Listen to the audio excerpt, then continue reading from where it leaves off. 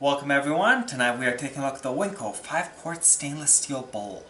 I've been using this bowl for the past couple weeks for whipping egg whites, mixing batters, all these tasks requiring an electric mixer, which tends to be a little rough on bowls. As you can see from the marks and the scratches, I did not go easy on it, and it's been holding up very well. In this video I'm going to be covering three parts. First I'm going to go over the specifications, second I'm going to show you a quick demo, and finally, I'm to go over functionality. So let's begin with some measurements. This mixing bowl measures 10 and 5 16ths of an inch in diameter. It has a height of 4 and 1 half inches. It has a brushed stainless steel finish on the inside and a mirror finish on the outside. For our demo, we're making some pastry dough to make some churros, and it's time to incorporate the eggs. We're going to use our electric mixer with the dough hooks to get started, and then we'll switch to something.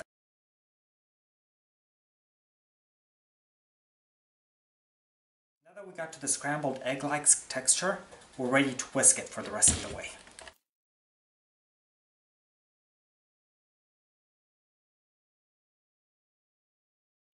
And this, is what we're aiming for. Next we're going to take all this, get into a piping bag, and bake some churros. Moving on to the last part of our video, functionality. What I like most about this mixing bowl, the height.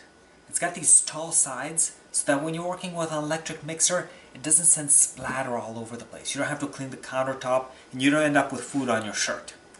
The next aspect I liked, it's sturdy. This bowl, as hard as I try, look, I cannot get this to flex. I can't get it to bend. And that's important because when you're working with metal utensils, when you're working with an electric mixer, you want a bowl that's sturdy and thick enough so it doesn't get damaged. And finally, I like the brush finish.